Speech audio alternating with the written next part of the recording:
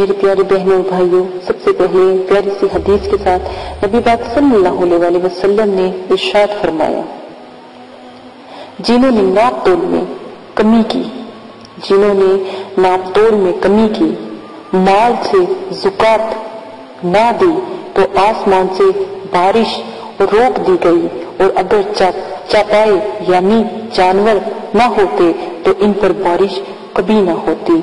अगर वो मासूम जानवर चौपाई यानी बकरी भैंस, गाय, ये ऐसे प्यारे प्यारे से चौपाई चार टांगों वाले जानवर ना होते तो यकीन माने, जैसा हम ना तोड़ में कमी करेंगे तो हमारे यहाँ पर बारिश नहीं होगी।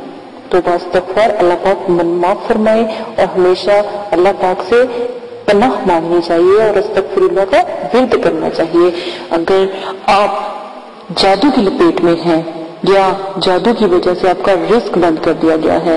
रिस्क को बंदिश कर दी गई है या रिस्क की बंदिश को आप तोड़ना चाहते हैं।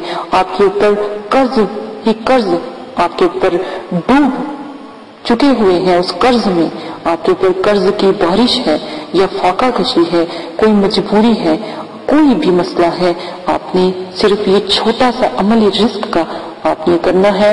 इनशाला इसमें बेपना अजाफा होगा। या अजीजू, या अजीजों का गिरद आप करें। यकीन माने, जितनी भी परेशानियाँ, मुश्किलें, दुख तकलीफें, कोई भी ऐसा मसला है, आपकी तमाम मुश्किलें हल हो जाएँगी और ज़िंदगी आसान हो जाएगी। अल्लाह पाक आपको करने की तोफीक अता फरमाए।